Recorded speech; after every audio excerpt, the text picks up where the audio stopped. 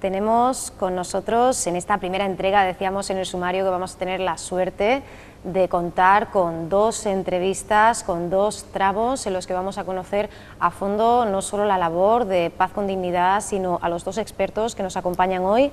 Nos acompañan Amparo Pernici, responsable de Paz con Dignidad en Andalucía.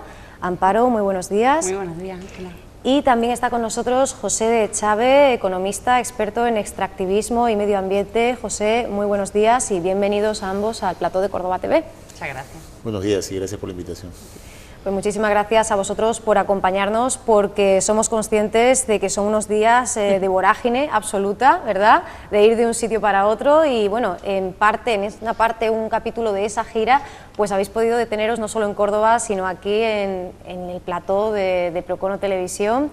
Hablamos eh, primero de Paz con Dignidad, de la Asociación No Lucrativa de Solidaridad, Derechos Humanos y Cooperación al Desarrollo, que nace en el año 95 y que desde el principio diseña pues todo un despliegue de proyectos, de iniciativas que nos conduzcan a generar sensibilización y conciencia crítica acerca del actual modelo de desarrollo con la finalidad de construir relaciones internacionales justas y por extensión un sistema equitativo a nivel mundial. Eh, Amparo, eh, esta misma mañana se celebraba la asamblea precisamente extraordinaria de Córdoba Solidaria, de la coordinadora a la que, a la que pertenecéis.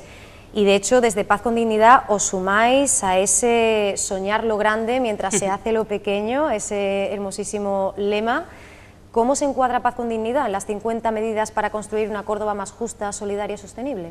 Pues básicamente y fundamentalmente, aparte de, apoyarlas todas, por supuesto, y defenderlas todas desde la coordinadora provincial y trabajando muy codo con codo con los compañeros y compañeras, eh, enmarcamos nuestro trabajo sobre todo en todo, lo, en todo lo que tiene que ver con derechos humanos y fortalecimiento de la sociedad civil. Todo lo que tiene que ver con participación, eh, con hacer eh, espacios más democráticos, abrir espacios de reflexión y de debate que hagan, eh, que, un poco en el que reflexionemos sobre el modelo de desarrollo neoliberal, que entendemos que no es un modelo justo y que desde luego no reparte a, la ciudadanía por igual y no defiende los derechos humanos de, de la ciudadanía en general. ¿no? Em, en ese sentido, nos alineamos perfectamente con, las medidas que tienen que ver con eso, con la defensa de, esos derechos humanos. Paz con Dignidad tiene un trabajo muy importante desde el 95, precisamente en, primero, construir relaciones, a partir de esas relaciones y de esas redes solidarias, generar sinergias de trabajo, en las que a veces salen proyectos de cooperación o de educación para el desarrollo, pero no siempre. Es decir, nuestro trabajo se centra en compartir eh, espacios, de, como decía antes, de reflexión y de debate en los que todos aprendamos y todas y mm, todos hagamos propuestas y, que sean alternativas y que generen situaciones más justas e, en este modelo desigual que hace que eh, los derechos humanos no se defiendan en condiciones casi dos décadas, como decíamos, apostando por la paz con dignidad. Yo creo que el nombre de, la organización ya es toda una declaración de principios y bueno, en este caso podemos preguntarle a, José, pues, cómo se ve desde fuera digamos, la asunción por parte del mundo occidental de esa implicación, de esa solidaridad. Realmente nos damos cuenta de que es una obligación de cada ciudadano, de cada ciudadana, ¿O hace falta recordarnos que no solo hay que hablar de paz y de solidaridad, sino que ello lleva implícito, pues eso, la dignidad, la justicia, la obligación de todos los habitantes del planeta?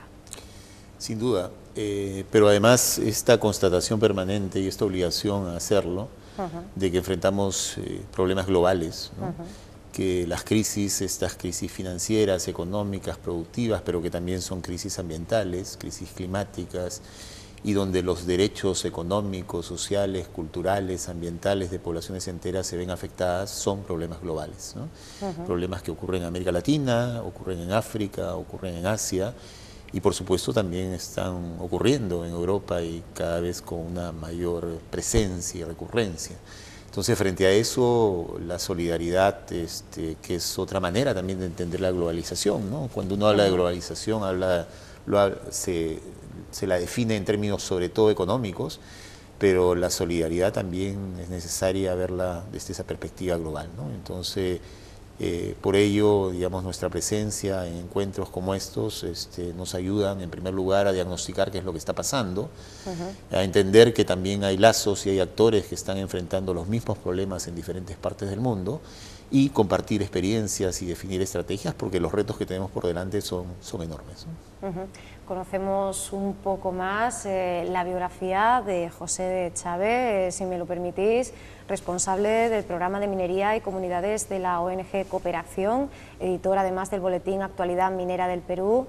De tu andadura profesional eh, a destacar tu responsabilidad como consultor en la Organización Internacional del Trabajo y en el Political Economic, Research Institute de la Universidad de Massachusetts y asimismo por lo que es más conocido seguramente por tu etapa como viceministro de Gestión Ambiental del Gobierno de Ollanta Humala en Perú entre agosto y diciembre del año 2011.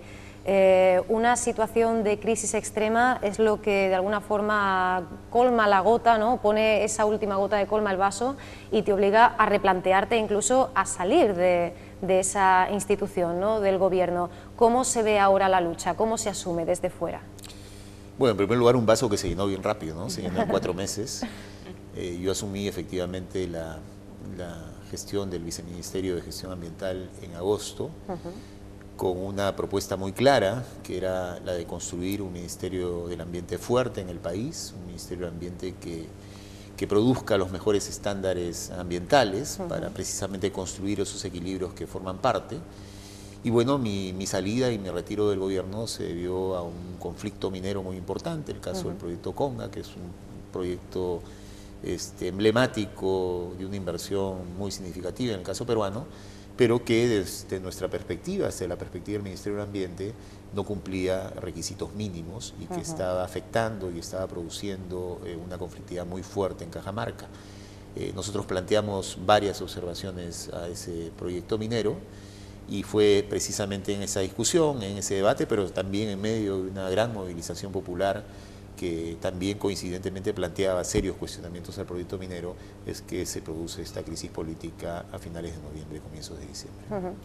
Se presentaba, de hecho, un informe que en su momento fue calificado de tremendista. ¿El tiempo os ha dado la razón? Yo creo que sí, y no es porque tratemos de subrayar eso, pero, pero creo que sí. Eh, tan es así es que el gobierno finalmente ha tenido que quitar el pie del acelerador y parar un poco el proyecto porque evidentemente las condiciones ambientales y las condiciones sociales en las cuales se pretendía desarrollar el proyecto eran inadmisibles. Y el informe que elaboramos eh, y que presentamos a finales del mes de noviembre y que en esos momentos no se sabía si iba a ser un informe público o no y que algunos quisieron desaparecerlo, este, finalmente planteó una serie de observaciones que han tenido que ser aceptadas y han tenido que ser tomadas en cuenta. Y finalmente, repito, el proyecto en estos momentos está formalmente paralizado, aunque la gente todavía percibe la amenaza que esa paralización es momentánea y que en cualquier momento se pueda nuevamente darle luz verde al proyecto minero. Para ello, para seguir avanzando hacia ese nuevo paradigma, necesaria la investigación, la divulgación. Esto es algo que también se hace desde Paz con Dignidad a través del Observatorio de las Multinacionales en América Latina y también de la revista de información y debate Pueblos. Estas son dos herramientas vertebrales, axiales, para que vuestro trabajo realmente tenga una dirección. ¿no? Sí, utilizamos un poco la revista Pueblos en nuestra línea de comunicación. un espacio alternativo en el que nosotros eh, contamos con una lista bastante importante de, periodistas de, carácter humano y mm, eh, que bueno que nos ayudan a sacar esa línea editorial adelante. Eh, en este caso, por ejemplo, en esa línea editorial está también Cisbatá, compañeros y compañeras de aquí de Córdoba, Axur La Segovia, una organización también a nivel estatal. Y bueno, es un proyecto muy ambicioso que lleva 11 años funcionando y que, bueno, entendemos, estamos muy orgullosos, entendemos que tiene ya cierto prestigio en, este nivel de comunicación, de, sobre todo en lo que tiene que ver con cooperación y redes de solidaridad. Con respecto al proyecto Domal, nosotros tenemos tres líneas estratégicas. Eh, dos conflictos de larga duración, que son el conflicto palestino y el conflicto colombiano, y la tercera tiene que ver con el impacto de la actividad de las multinacionales eh, españolas, concretamente en América Latina. En eso consiste precisamente el trabajo del equipo del Observatorio Multinacionales.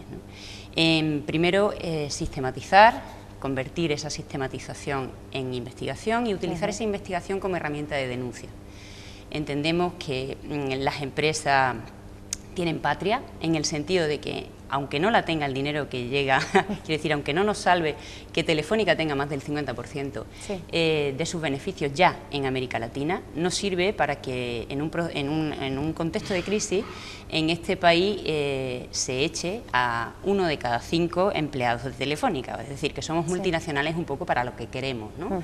decir, defendemos la marca España y tenemos ahí a nuestro equipo diplomático eh, frente a cualquier otro gobierno para defender la inversión extranjera directa de las empresas españolas y sin embargo esas empresas luego no dedican ese beneficio a que realmente los ciudadanos y ciudadanas españolas eh, nos ayuden a salir de, del contexto de crisis en el que estamos, con lo cual es algo como muy contradictorio, ¿no? esta, cosa que se defiende ahora como la marca España, creemos que no es más que, un, eh, un pretexto para algo que nosotros llamamos eh, puertas giratorias. ¿no? Los políticos a veces están dentro de la política, a veces están en la empresa privada. Y ese intercambio de intereses hace que realmente no defiendan lo que son los intereses de la ciudadanía, ¿no? sino casi que los suyos propios. ¿no? Es un proyecto que llevamos desde el 2003 llevándolo adelante, trabajamos mucho. Eh, estamos casi que en todas partes, os lo intentamos, intentamos divulgar, divulgarlo lo mejor posible, tanto aquí como en América Latina. Y cada vez con más esfuerzo, porque bueno, así nos lo hacéis saber eh, todas las ONGs, que a principios de mes eh, pues tomabais seis ciudades andaluzas en contestación al recorte del 29% de la AOD en los presupuestos de 2013. negro, de luto riguroso, en la mano izquierda, para apoyar también esas conversaciones de la coordinadora andaluza de ONGs con los grupos parlamentarios eh, andaluces. ¿Cuál es la situación concreta de, Paz con Dignidad? Pues en este momento, en Andalucía, hemos pasado de ser tres personas en el 2009, tres personas asalariadas me refiero, gente voluntaria y colaboradora, hay muchas más, menos mal, que nos ayudan a sostener la organización. Eh, y ahora estoy yo sola. hemos pasado de tres a una. Ahí andamos peleando. Eh, es verdad que mm, hemos intentado abrir otro tipo de espacios en el sentido, por ejemplo, acabamos de llegar ahora mismo de una colaboración con la universidad, eh, un profesor de filosofía y letras nos abre, nos abre las puertas de, la universidad para que podamos abrir ese espacio, como decía antes, de denuncia. Eh, de lo que tiene que ver, en este caso, con la minería eh, y con el extractivismo en Perú y, con el caso de El Salvador, con Julia Evelyn. Eh, esas, todas esas colaboraciones hacen que la organización siga funcionando, con muchísimas carencias, sobre todo porque además la, Administración ha rebajado tremendamente el 75% en la Administración central, en la ECI ya, el recorte llega al 75% en 2013, en Andalucía que era una de, los bastiones de, la ayuda descentralizada, junto con el País Vasco, el recorte es del 25% solo en este año. En el Ayuntamiento de Córdoba parece que puede haber recortes, todavía no están del todo, eh, todavía no se nos ha comunicado cuánto, pero sin embargo la, eh, carga administrativa y el acoso administrativo se ha multiplicado por dos, de tal manera que tenemos eh, que justificar proyectos con una carga de trabajo importantísima y además intervención eh, en todas las administraciones muchas veces pide incluso reintegros que tenemos que subsanar. Quiero decir que toda la carga administrativa al multiplicarse hace que la gestión sea mucho más complicada con menos gente. Claro, porque hay que sumar también los impagos de la Junta desde el año 2010. Eso es dramático, es dramático. Llega un momento en que ya no se puede estirar más, ya no se puede adelantar más. Claro, nosotros, eh, el 2010 ya se ha resuelto, cambió el comité ejecutivo de la coordinadora hace muy poco, creo que eh, se está haciendo un buen trabajo en el sentido de presión. Sí. Eh, todas esas, manifestaciones que corresponden a un plan de acción que el Comité Ejecutivo y la Coordinadora eh, están poniendo en marcha porque realmente la situación es muy dramática. Eres en las organizaciones, eh, expedientes de regulación de empleo, gente que, está, que se ha ido al paro masivamente, gente que está a la espera de cobrar sin poder eh, adelantando, adelantando esos sueldos y sin poder siquiera tomar una determinación porque la situación es tan de incertidumbre que uno no sabe, ¿no? no sabe hasta dónde vamos a poder llegar. Y esto no es solo aquí, quiero decir, yo quiero hacer mucho hincapié en que los procesos no se paralizan aquí, se paralizan en todo el trabajo que llevamos haciendo en el sur. Eso significa que todo esto tiene un reflejo allá y todo esto tiene la misma situación dramática que desde aquí se vive, se multiplica por dos en, el sur, ¿no? porque no tenemos posibilidad de seguir apoyando eh, proyectos y procesos que venían siendo muy importantes. Y de verdad que insisto que la cooperación descentralizada andaluza llegaba a ser un 23% de la total del Estado. Eso es, eso es un cargo importante y es una responsabilidad importante para el gobierno andaluz, que entiendo que debería defender con mucha más avideza y más interés sobre todo. Erradicar la pobreza, imperativo ético, social y político. ¿Cuál es la contestación, eh, José, que se puede dar a ese discurso de, los pobres contra los pobres? Porque gran parte de la ciudadanía, incluso en este país, se aferra ahora mismo a eso. Dice, pero bueno, ¿por qué se resuelven problemas, conflictos eh, externos, cooperación al desarrollo internacional, si hay aquí la situación que hay? Eh, al inicio hablábamos de estos temas y esta perspectiva global, ¿no es cierto? Yo creo que los, conflictos y lo que está ocurriendo este, tiene esa perspectiva y por lo tanto obliga a compromisos también globales. En el caso de América Latina, este, lo que ha ocurrido en los últimos 15 eh, o 20 años ha sido una presencia muy significativa, muy importante de inversiones de empresas multinacionales, principalmente de la Unión Europea, el principal inversionista este, la principal presencia de empresas multinacionales en, América Latina son precisamente de la Unión Europea. este, el ejemplo de las empresas españolas creo que es una muy buena constatación de esta tendencia. En los últimos 15, 20 años ha habido lo que varias investigaciones acá denominan como el segundo desembarco, esta, esta llegada de empresas, de inversiones, que además en el actual contexto, en el actual escenario, hablan de que precisamente esas inversiones son el centro ahorita de su rentabilidad. Eso pasa con empresas como Telefónica, empresas como Repsol y varias, y varias otras. Lo que creo que hay que subrayar y hay que insistir es que esta gran oleada de inversiones está provocando también una fuerte conflictividad social el tema que he estado trabajando, el tema extractivo es un buen ejemplo de eso. El sector extractivo ha estado en, una situación de expansión muy fuerte, minería metálica, minería no metálica, gas, petróleo, y esas inversiones han estado en el centro de una fuerte conflictividad social a lo largo y ancho de América Latina. Los principales conflictos sociales hoy en día en la región tienen su origen en problemas socioambientales, sobre todo vinculados a industrias extractivas. Entonces, esa situación se está reproduciendo, esa situación está en incremento, las tendencias precisamente es que esas inversiones sigan creciendo en condiciones donde los derechos económicos, los derechos sociales, los derechos culturales, los derechos ambientales, donde incluso poblaciones enteras están siendo obligadas a ser desplazadas de sus territorios. Ese escenario evidentemente obliga a este nivel de interacción, este nivel de complemento, este nivel de solidaridad. Hemos estado en, una cumbre paralela a la cumbre iberoamericana en Cádiz, que ha sido, creo yo, predominantemente la cumbre oficial, una cumbre de negocios, una cumbre, y hemos visto las declaraciones públicas de los principales líderes este, señalando que Europa ofrece y recepciona bien las inversiones y que ofrecemos estabilidad jurídica y presidentes latinoamericanos diciendo, diciendo lo mismo. Lo que no hay que obviar es que estamos en un escenario de una fuerte conflictividad social, estamos en un escenario donde las asimetrías se ahondan, donde los problemas básicos de pobreza, de marginación, eh, continúan y más bien las tendencias son cada vez más peligrosas. Y eso nos obliga a pensar en nuevos esquemas, en nuevos modelos eh, las luchas de resistencia están siendo muy fuertes. Ahora las vemos, he tenido la oportunidad de estar esta semana y he visto las luchas del movimiento resistente, del movimiento social acá en Europa, este, con la misma efervescencia, con el mismo convencimiento, con la misma indignación de las luchas de resistencia que están ocurriendo en América Latina. Por lo tanto, lo más importante, además, que creo que hay que subrayar es que esas luchas de resistencia también están siendo acompañadas por reflexiones, por reflexiones programáticas, por reflexiones en torno a las políticas públicas que plantean que hay otros escenarios, que seguramente otra España es posible, que otra Europa es posible, que otra América Latina es posible, y que otro mundo es posible.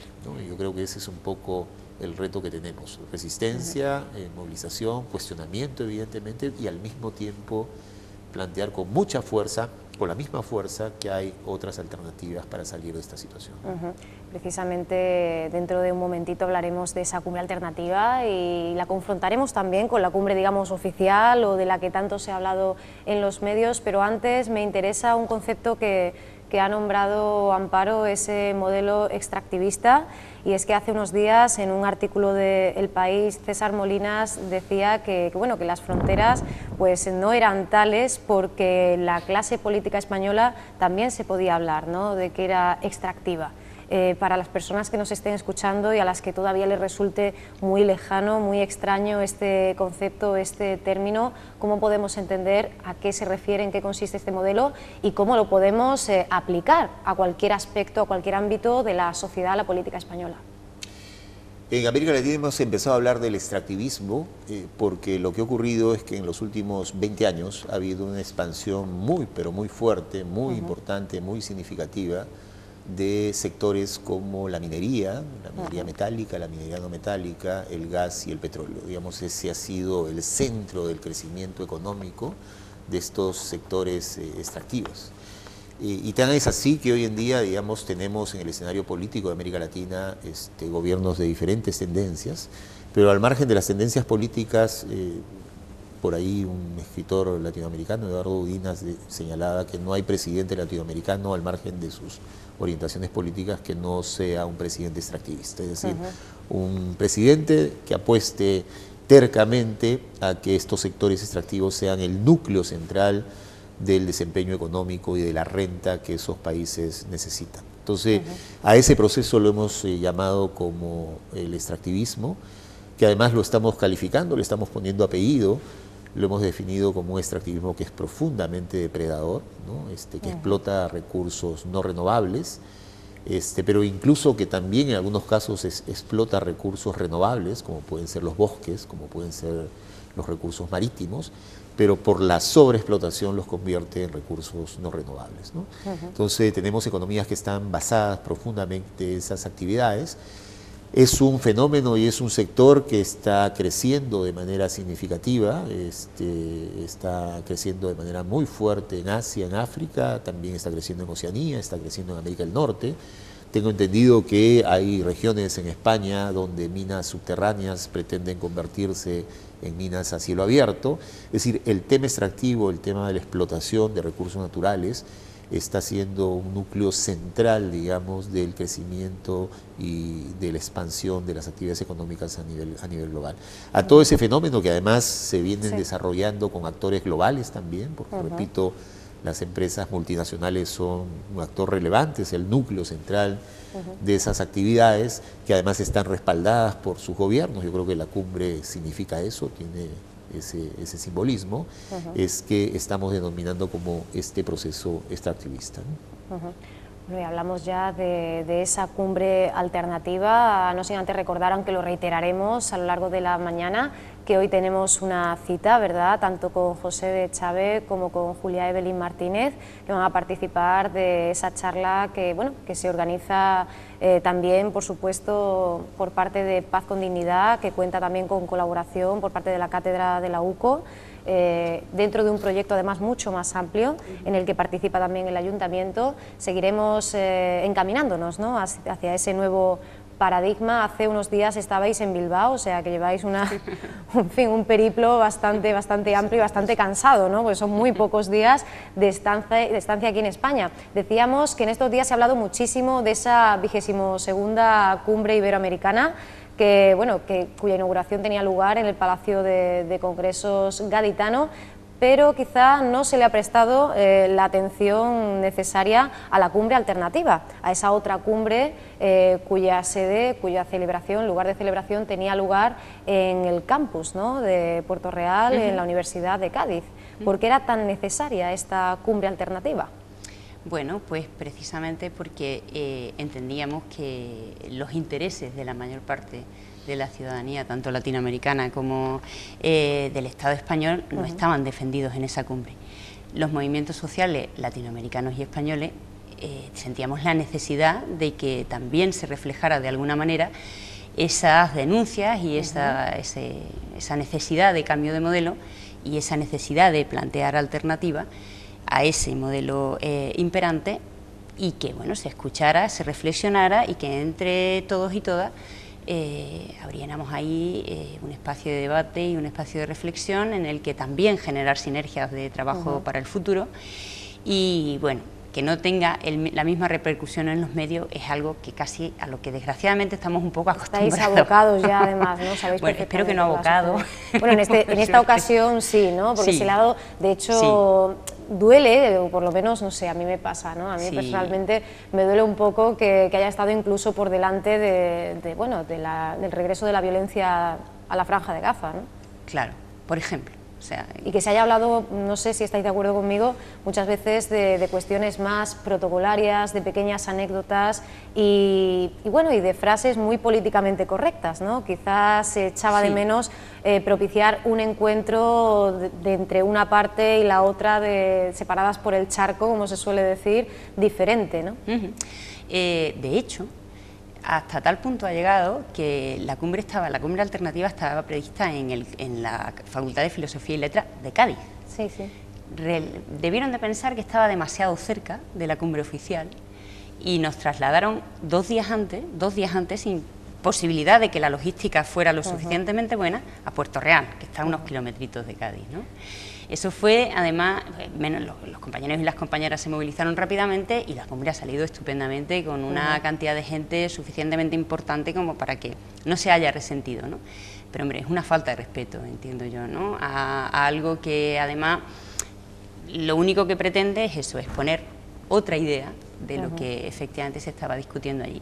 Entendíamos, yo creo que todos y todas, que la cumbre se ha desarrollado además de lo que se ha visto en el pasillo, ¿no? en el mercadeo de donde, bueno, las declaraciones de, Rajoy eran muy sintomáticas, ¿no? Eh, nosotros tenemos, eh, atraigamos a la inversión incluso de, la, de las multinacionales de América Latina, porque aquí, en este país, tenemos seguridad jurídica suficiente, ya tenemos un marco laboral lo suficientemente bajo como para que las empresas multinacionales les sea rentable invertir aquí, ¿no? muy triste eso, ¿no? En el mercadeo ese de, al final, donde estamos nosotros es ahí, ¿no? En, tengo los sueldos más bajos, vengan ustedes y aprovechense de la situación, ¿no? Básicamente es un poco lo que nosotros entendemos que se ha vendido en la cumbre, en la cumbre oficial, ¿no? Por eso sentíamos la necesidad de discutir de otras cosas mucho más importantes para todos y para todas, ¿no? Se ha decidido que esa cumbre se realice a partir de ahora de forma bienal. ¿Esto también modifica vuestros planes o consideráis que esa cumbre alternativa debe seguir teniendo su ciclo, digamos, personal más allá de la cumbre oficial, entre comillas? Muy probablemente. Eh, el proceso de trabajo, la agenda de trabajo se va a marcar a partir de ahora. Todavía no nos hemos sentado a, realizarlo porque esto ha sido un no parar. ¿no? De hecho, nosotros, como decía, venimos de participar del curso de Omal en Bilbao, fuimos de cabeza a Cádiz, nos venimos rápidamente a Córdoba, casi no hemos tenido tiempo de reflexionar, menos mal que cenamos y comemos juntos todos los días y tenemos un tiempo ahí para, poder hablar. ¿no? Pero eh, hay que sentarse con los compañeros y compañeras y hacer una agenda de aquí en adelante esos espacios generan sinergias suficientemente grandes como para que esto vaya hacia adelante y vaya más. Comentarle a, todo el mundo que, quiera consultar que hay una página que se llama la hora de los pueblos.org donde está todo el programa de la Junta, se colgarán las conclusiones y, bueno, ahí seguro que tienen mucha más información. Y la agenda, como digo, a partir de ahora empezará a cuadrarse. Si será o no bienal, pues lo vamos a ver. ¿no? Y además, solamente quizás para agregar... Eh, las cumbres pueden tener un carácter reactivo, pero no se agotan en esta lógica reactiva. Las cumbres hay que entenderlas como procesos de acumulación, como resultado de procesos de acumulación, que a su vez generan nuevos saltos en esos procesos de acumulación. Y yo creo que en esta lógica lo que hemos eh, vivido en estos días de trabajo, de intercambio, han sido muy importantes. Eh, y como lo señalaba Amparo, este, la cumbre sí ha planteado una agenda, la cumbre alternativa sí ha planteado una agenda integral ubicando los distintos temas, porque la crisis es económica, la crisis puede ser financiera, pero la crisis también es social, es ambiental, es una crisis de, afectación de derechos muy importantes. Eh, quería subrayar también el hecho de que es curioso, pero en la cumbre oficial cada vez hay menos participación de delegaciones. ¿no? Han habido varios presidentes de América Latina que no han estado, eh, lo que expresa también un serio desgaste y esta incapacidad, creo yo, de leer lo que realmente está pasando y qué obligaciones tenemos frente a una agenda que es una agenda compleja, eh, integral y que debe ser entendida y leída en esa complejidad y en esa integralidad. Quizá uno de los grandes titulares de la cumbre oficial sea esa propuesta, esa necesidad de refundación de la comunidad iberoamericana. ¿En qué se traduce esto? Porque antes lo hemos comentado, quizá entre tanto discurso haya iniciativas interesantes, pero se ha puesto el acento en, los discursos positivos, optimistas y no sé si han faltado las soluciones concretas. Y una suerte de autismo y no querer eh, interpretar lo que está pasando ¿no? en el mundo este, y no darse cuenta de la magnitud de los problemas que estamos enfrentando. Entonces yo creo que en la medida que no entendamos esa, esa problemática va a ser bien difícil que estas famosas cumbres puedan ser momentos importantes y sobre todo momentos en los cuales las poblaciones nos veamos reflejados. ¿no? Este, esta vocación a ignorar temas centrales, temas fundamentales que aparecen en la agenda de nuestros países, nos parece que es, a estas alturas es inaceptable. En concreto nos quedamos o vamos a referirnos a la intervención eh, por parte de, tu país. Precisamente el presidente Ollanta Humala eh, reflexionaba sobre la puesta en valor del medio ambiente, también sobre ese proyecto minero Conga cuyo conflicto sigue latente. ¿Qué te ha parecido la intervención? Eh, siempre a uno le queda la sensación esta, esta brecha enorme entre los discursos y lo que es la realidad. ¿no? Este, eh, la problemática ambiental es una problemática latente en el país. El país es un país, el Perú es un país megadiverso, es un país que arrastra pasivos ambientales muy significativos, que tiene una institucionalidad ambiental sumamente precaria. Digamos, la tarea que nos dieron cuando comenzamos el gobierno era precisamente construir una verdadera autoridad ambiental y hasta ahora eh, sigue habiendo una autoridad ambiental que no tiene todas las facultades que cualquier autoridad ambiental en cualquier parte del mundo debería, debería tener. No hay esa institucionalidad, no hay instrumentos.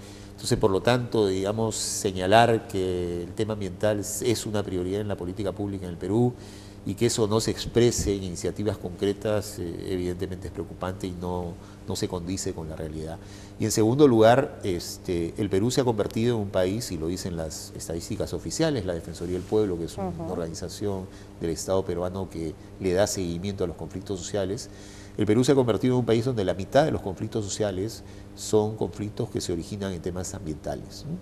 Este, los problemas socioambientales es lo que produce la mayor conflictividad social y cuando vemos cuáles son los, los sectores que producen esa conflictividad socioambiental, vemos que es la minería y que son los hidrocarburos.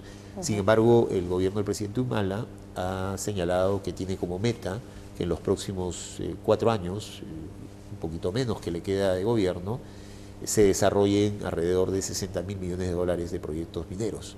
Entonces uno se dice, bueno, por un lado está preocupado por la conflictividad social, por un lado está preocupado por la problemática ambiental, pero al mismo tiempo está también preocupado e insiste en, que los en que los proyectos mineros se desarrollen en un número muy importante, significativo, sin que se produzcan cambios en las políticas públicas. Si eso va a ocurrir, la conflictividad social va a seguir aumentando, los derechos de las poblaciones van a seguir siendo afectados, varios conga van a aparecer en la agenda de debate público del país y vamos a tener un escenario que va a ser cada vez más complicado. Entonces, por eso intentando responder a la pregunta, yo creo que hay una enorme brecha entre lo que es el discurso y lo que son las políticas concretas, lo que es la práctica concreta. ¿Se puede aplicar esta lectura a la forma que ha tenido de abordarse la cuestión del terrorismo por parte del canciller Rafael Roncagliolo? En cierta medida creo que sí, este, digamos, el Perú se ha convertido en un país donde hay núcleos, hay zonas del país donde hay eh, sectores que todavía están alzados en armas, muy vinculados además a temas del narcotráfico. Ha habido una suerte de, acercamiento ¿no? entre estos dos, dos, sectores que están muy focalizados, pero que sin duda también están afectando la inestabilidad de esos territorios en los que están presentes y también con una situación de violencia que, que creo yo el Estado peruano no está teniendo la capacidad de manejar adecuadamente. -hmm. Bueno, pues hablamos ya de la otra cumbre, de esa cumbre alternativa que tenía incluso una manifestación, ¿no? Contaba también con ese porcentaje reivindicativo y es que su gestión ha sido más que complicada porque esa treintena de organizaciones que la han hecho posible se han encontrado, tú misma lo decías, ¿no? Esto de, llevarnos un poquito más lejos, ¿no? Eh, marcar una separación, una distancia eh, os habéis encontrado con denegaciones tanto por parte del Ministerio del Interior como por parte de la subdelegación del Gobierno en Cádiz. ¿No? Eso fue, sí. Mm, no sabemos de quién fue la orden exactamente, eh, pero efectivamente eso se hizo efectivo en llevarnos ya digo, desde Cádiz a Puerto Real, al campus de Puerto Real, mm, poniendo también un poco en feo a la universidad ¿no? y obligando a la universidad a que hiciera efectivo eso de manera mm, tajante. ¿no? Em, bueno, es una forma de, demostrarnos que efectivamente no quieren escuchar, ¿no? es muy evidente. Em, toda esa eh, logística, ya digo que bueno, se resolvió bien y se llevó, la única, el único problema añadido era el transporte que resolvimos, muchos compañeros y compañeras pusieron a disposición sus coches, con lo cual aquello fue una suerte de solidaridad que aumentó un poco precisamente lo que estábamos trabajando allí, con lo cual en, realidad todo eso se salvó. ¿no? Es triste, no deja de ser triste, pero se, se, logró librar, o sea que bueno, ningún problema. Siempre terminamos eh, planteando una alternativa que a veces es incluso mejor, lo cual. Eh, el acto final sí que no pudimos eh, transformarlo en una manifestación, porque eso no nos dejaron. Fue una concentración en el Polideportivo del campus y un, bueno, un acto final en el que hablaron una serie de compañeros y compañeras, hubo algunas cosas lúdicas también y fue un poco de, concentración y decir, bueno, pues enhorabuena, hemos terminado, eh, seguimos trabajando. ¿no? En nuestro caso, concretamente, eh, lo que hicimos fue la propuesta de paz con dignidad y del observatorio, era una audiencia, un pequeño tribunal permanente, una simulación de tribunal permanente de los pueblos, en el que intentábamos enjuiciar el papel de las multinacionales en América Latina. ¿no? Y tratábamos tres casos concretos, el de las multinacionales españolas, el caso del extractivismo en Perú y el caso de El Salvador. Em, teníamos una serie de expertos eh, que por un lado actuaban como testigos, José Chávez, eh, Julia Evelyn y Erika, compañera de Mal, Erika González, y por otro lado estaban los jueces, los que hacían las veces de jueces, que eran Alberto Garzón, em, del Centro de Estudios Sociales y Políticos y profesor de la Universidad de Málaga, economista. Em, economista también eh, Jesús Carrión, del Observatorio de la Deuda en la Globalización, y Maite Hernández, compañera del área de cooperación de la Universidad de, la UCO. Ellos planteaban un contexto, los testigos planteaban los casos concretos y se llegaba a una serie de conclusiones en las que participaba también el resto de la, gente que estaba allí eh, como audiencia. ¿no? y un poco lo que prepararemos es luego un borrador un poquito más trabajado de cuál es el veredicto, de alguna manera, ¿no? ya que no nos dejan hacerlo de otra forma, que al menos sea simbólico y de denuncia y que sirva para seguir trabajando. Ya que las sensaciones eh, con respecto a la cumbre eh, oficial, decíamos antes, por llamarla de alguna manera, eh, son, no son demasiado positivas, ¿cuáles te deja esta cumbre alternativa, esta otra forma de mirar hacia un nuevo modelo de desarrollo? He tenido la oportunidad de asistir a varias, a varias de las presentaciones y yo creo que en primer lugar la, cumbre alternativa eh, recoge un diagnóstico bien importante de lo que está pasando en la región, en términos de procesos sociales, en términos de contestación, en términos de amenazas. Creo que eh, nos ha permitido tener un diagnóstico bastante actualizado sobre una problemática además sumamente compleja. Nos permite también identificar cuáles son los procesos que están en curso y nos permite también eh, señalar con mucha claridad que dentro de los procesos que están en curso hay una serie de propuestas alternativas que creo que hay que darles eh, relieve porque son propuestas alternativas que nacen de prácticas concretas. Eh, otro aspecto que nos parece muy importante es esta suerte de vacíos. Hoy en día, digamos, a partir de una serie de decisiones, de convenios internacionales, de instrumentos, de tratados que han sido firmados, tratados de libre comercio, tratados bilaterales de inversión, los estados, nuestros estados, eh, que reciben esas inversiones, pueden ser llevados a procesos de arbitraje internacional, este, donde la posibilidad de defenderse pueden ser llevados además por las empresas multinacionales cuando ellas consideran que sus derechos han sido afectados. Y antes, por ejemplo, cuando se hablaba de una expropiación en América Latina, la expropiación significaba que un gobierno le quitaba la propiedad de la mina, la propiedad de la fábrica, la propiedad de un banco o de alguna otra entidad. Pero hoy en día se habla de un concepto que es mucho más ambiguo, este, se habla de expropiación indirecta. Y cualquier decisión que un gobierno latinoamericano, por ejemplo, un gobierno africano, asiático, que tenga firmado un tratado de libre comercio, pueda tomar y que para la empresa multinacional pueda ser considerado como una decisión que afecta sus intereses, que afecta sus expectativas de ganancia futura, eso es lo que se denomina como una expropiación indirecta. Y vale exactamente igual como si le quitasen la propiedad de la mina, de la fábrica, del banco. Por ese tipo de argumentos, por ese tipo de instrumentos, una cantidad importante de estados latinoamericanos están siendo denunciados por empresas multinacionales en estas instancias, en estos arbitrajes internacionales. Hay un proceso de arbitraje que se llama el CIADI, que pertenece al Banco Mundial.